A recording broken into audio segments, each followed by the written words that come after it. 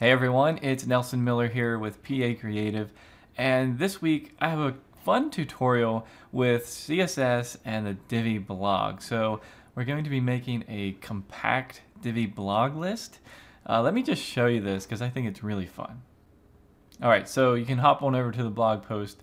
Um, that's where we'll have uh, some of these written directions and the code snippets. Now, I have a lot of information here, but it's really not that complicated setting up the, the blog module is all we're doing here and turning on and off some features and adjusting a few design settings.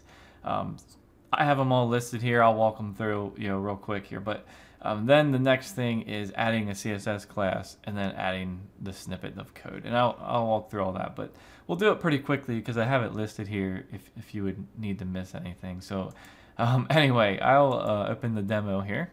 So I think what I'll do is I'll actually add another section here and add the blog module. I'll, I'll kind of re, you know, start over here. So add your blog module.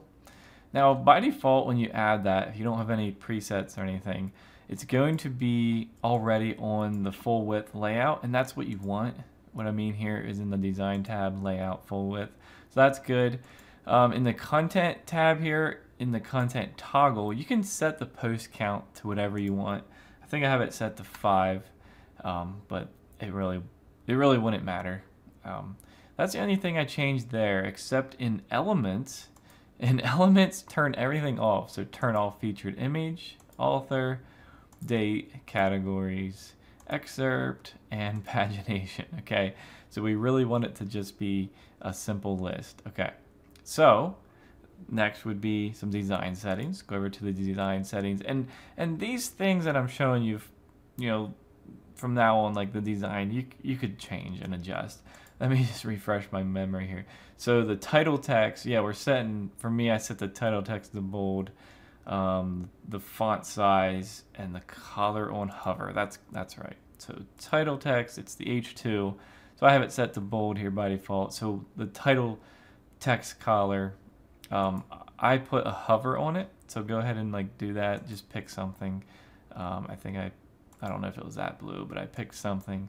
And then I just changed the size. I actually made it a little smaller, but again, you, you do what you want there.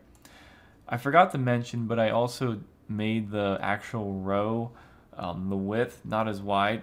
That also does not matter. You can kind of do that later.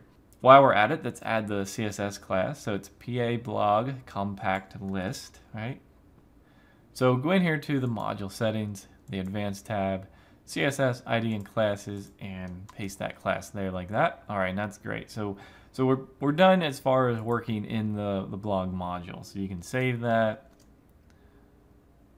Now, step three here is adding the CSS snippet. So we're just going to copy it. It's not actually as big as it looks. So I'm going to break it down for you. It's actually quite simple. It's only doing four different things. So copy that, and then you would paste that in your child theme or in theme options, um, those kind of places, right? If, if you wanted, you could put it right here in the page, right here. Um, why don't I just do that while I'm here? okay, I pasted it, and just like that, you can see our list is complete.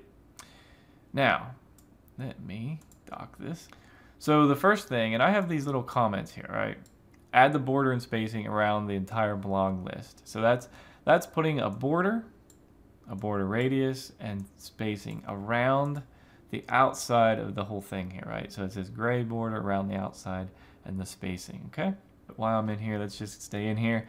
Um, this, this code here where it's talking about adding the spacing and the border to each post, that is adding this tiny little line between them.